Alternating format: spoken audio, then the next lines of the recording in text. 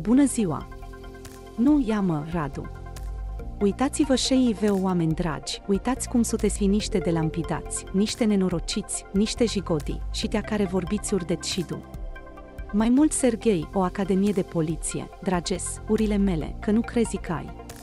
În caz contrar, nu ai pune astfel de întrebări. Ești serios întârziat și dispar cam o alerge la întârziere, explică femeia din live publicat pe TikTok. El are mii de adepți pe contul TikTok și publică fotografii în uniformă destul de des. Îmi place foarte mult să mă provoace, descărc mereu. Că pentru a descărca subordonații, aș descărca mai bine TikTok dragis. Știu despre ce vorbesc, Eugen, nu, ești prost.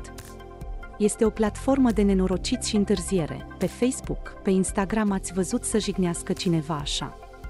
Mi-i spun femeia, care cel mai sumplibil a făcut filmarea în biroul său. Femeia lucrează la Centrul de Detenție Craiova, sub subordonarea Administrației Penitenciarului Național, au declarat surse oficiale ale ziarului Libertatea. Ziarul Libertatea a cerut reprezentanților instituției un punct de vedere, dar până la publicarea articolului, nu au răspuns la cerere. În alte știri din live, ul angajatului, jurnaliștii au spus că femeia va fi ofițer de poliție din IPJ Harghita, dar poliția românească a spus că nu este angajată în instituție. În urma apariției în spațiul public al unei filmări pe o rețea de socializare, în care o femeie pare să se adreseze celorlalți folosind insulte și cuvinte ofensive, Centrul pentru Informații și Relații Publice din cadrul Inspectoratului General al Poliției Româniene este împuternicit să urmeze de delold de, de specificații. Persoana care apare în împușcăturile publicate pe o rețea de socializare nu este un ofițer de poliție al Poliției Românești, au declarat reprezentanții ICPR. Urmați ne pe Google News. GSP Roana Maria Prodan a condus 220 de kilometri H și a vrut să înșele poliția. Modul stupid care era gol.